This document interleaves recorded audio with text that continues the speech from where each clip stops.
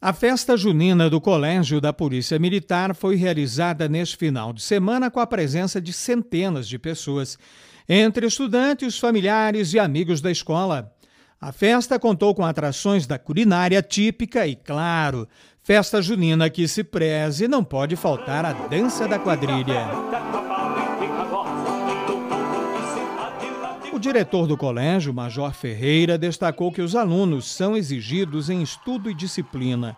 E nestes momentos, a escola procura proporcionar o lazer, que também é importante no processo educacional. Nós tentamos fazer, trazer para os nossos alunos, porque todo dia a gente cobra deles, a gente cobra é, a disciplina, a gente cobra a hierarquia, a gente cobra conteúdo deles, mas sim, em diversos momentos no ano a gente tem que trazer alegria e diversão para eles. E aí, como vocês podem observar nas nossas, no fundo aqui com os pais, as crianças correndo, brincando, se divertindo, ela é uma festa familiar ela é uma festa que nós trazemos valores baixos para proporcionar que todas as pessoas tenham condições de participar de todas as brincadeiras que nós oferecemos para eles. A festa do Colégio da Polícia Militar aqui de Pato Branco já está entre as maiores do município em participação de público e atrações. Neste ano, com uma característica especial.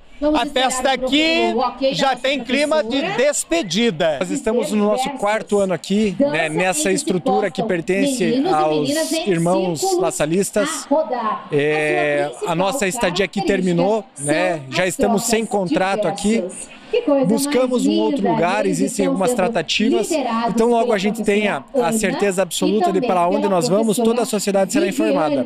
Mas, sem dúvida nenhuma, essa é a última festa junina do Colégio da Polícia Militar neste ambiente. A direção, como vimos, preferiu não informar ainda o local do funcionamento da escola a partir do segundo semestre. Extraoficialmente, alguns locais são cogitados, principalmente alguns situados na zona norte de Pato Branco.